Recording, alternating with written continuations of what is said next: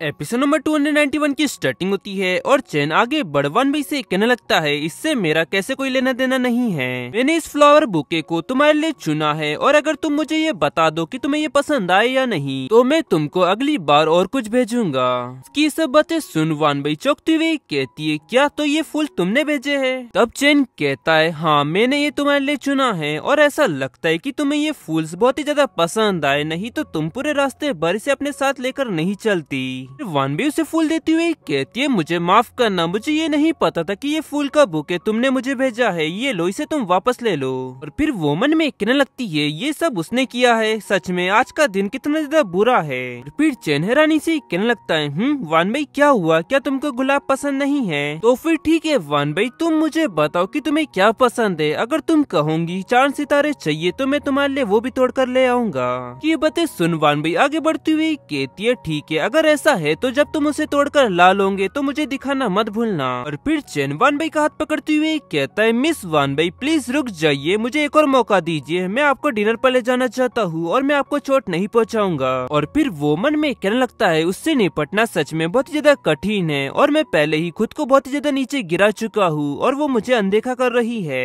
फिर वन में अपना हाथ छुड़ाती है और गुस्से से कहती है, जाने दो मुझे। और फिर चैन कहता है, मुझे माफ़ करिएगा, मिस वान भाई मेरा ऐसा करने का कुछ भी इरादा नहीं था। मैं तो सच में आपको बहुत ज़्यादा पसंद करता हूँ। और मिस वान भाई आप मुझे एक और मौका क्यों नहीं दे सकती? क्या ऐसी कोई बात है जो आपको मेरी पसंद ना हो? तो प्लीज़ तुम मुझे इस बारे में बताओ। मैं इसे ठीक करने की कोशिश करूँगा। फिर वन भाई कहती अच्छा ऐसी बात है तो फिर ठीक है। मैं चाहती हूँ की तुम मुझसे बस दूर रहो। फिर चैन कहता है, मिस वान भाई आप मेरी क्रश है और आप हमेशा मुझे खुद से दूर क्यों धकेलती रहती हो?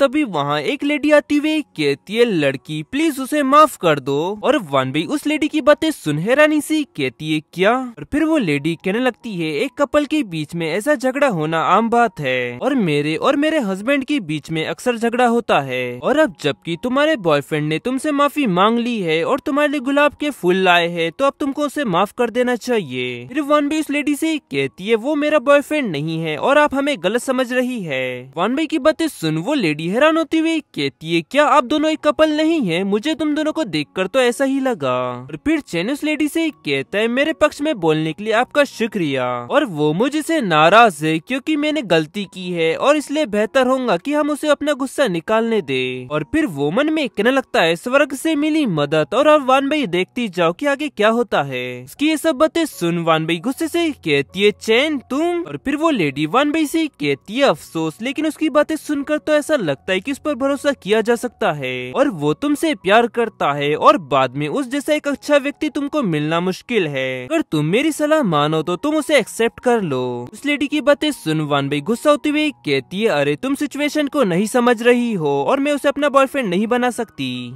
और गाइस के साथ एपिसोड नंबर 291 यहाँ एंड होता है। पसंद आया तो लाइक एंड सब्सक्राइब ज़रूर करें। मिलते हैं आपको जल्दी नेक्स्ट एपिसोड में।